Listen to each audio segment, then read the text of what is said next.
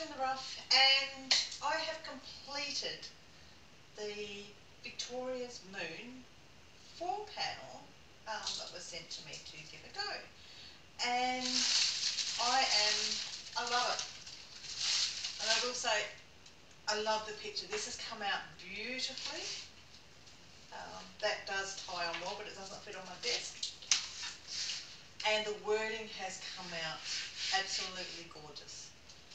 I will say this image, I went looking to check on copyright of this, and this is actually a stock picture, so um, there is so many dandelion pictures out there. But, here we go, so this is what it looked like, and it has come up stunning, absolutely gorgeous, and I will, oops, sorry if I bang that, just drop that, oops, stuff on the desk. Okay, so there we go, that's it, next job with this one is to frame it. What do you think? Issues with this one, um, I had no real issues with this,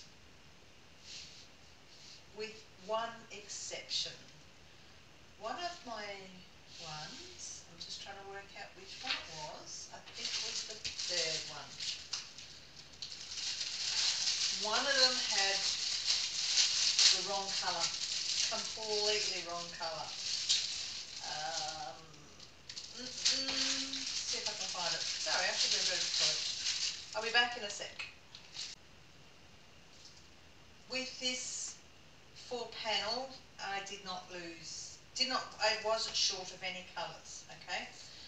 I did have one issue with panel three, where, uh, we'll put on a piece of, so you can see it. They're calling that 154.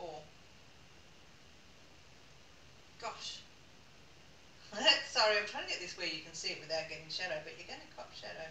So they're calling that 154. If I go to one of their other ones, that's a true 154. Even the first bag was 154. Now 154 is a burgundy reddish colour, although you can't see it here. But it's definitely not that pink. So I actually grabbed um, 1544 from another diamond paint, one and from this panel, when this focuses again. There we go.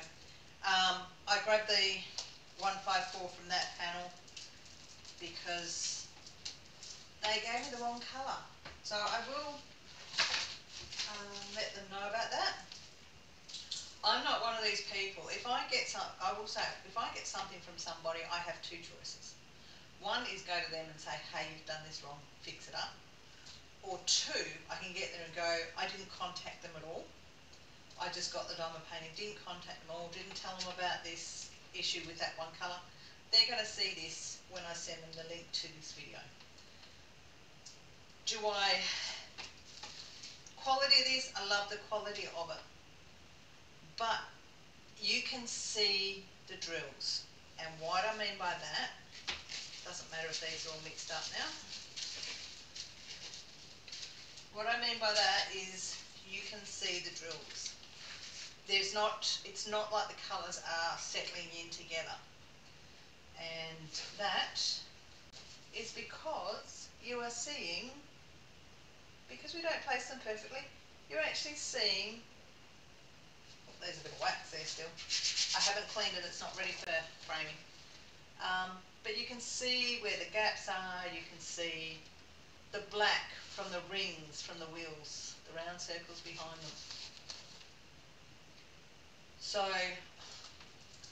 um, yeah, as you tell, I've got wax in there. I haven't done anything in the way of straightening up. Let's see if this camera is going to focus again, because that doesn't look focused. Um, but yeah, you can see. When there's just, there's pretty much solid colour there, but you've got those black in the background. So that's going to take a bit of work to try and straighten out and clean up. You know, especially when you consider that these are, even that I can't. Because it is the double-sided adhesive, it's a really good sticky glue, so it's not going to come off. But what that means is it just makes it harder to actually um, line up. But the detail is really, really, really, really good.